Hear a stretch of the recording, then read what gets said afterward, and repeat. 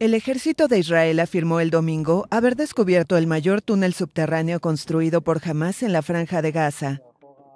Según un periodista de AFP que pudo entrar en el túnel descubierto, este dispone de sistemas de canalización, electricidad, alcantarillado, de ventilación y rieles.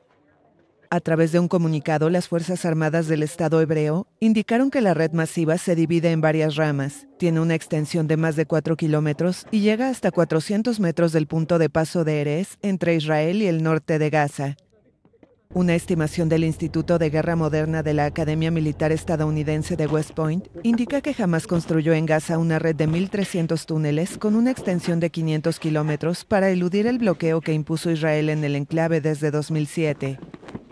La destrucción de la red de túneles construida por el grupo islamista palestino es uno de los objetivos de la ofensiva militar israelí en el enclave, donde murieron hasta 18.800 personas según datos del Ministerio de Salud gazatí.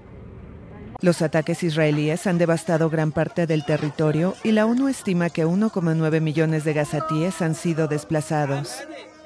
Israel inició esos bombardeos y ocupación terrestre de la franja después de los atentados de Hamas el 7 de octubre en su territorio, en los que perdieron la vida unas 1.140 personas, en su mayoría civiles, y alrededor de 250 fueron tomadas como rehenes.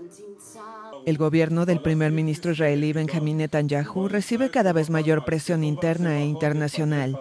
Estados Unidos, el mayor aliado de Israel, ha urgido estos últimos días a una fase de menor intensidad en la operación israelí para proteger a los civiles.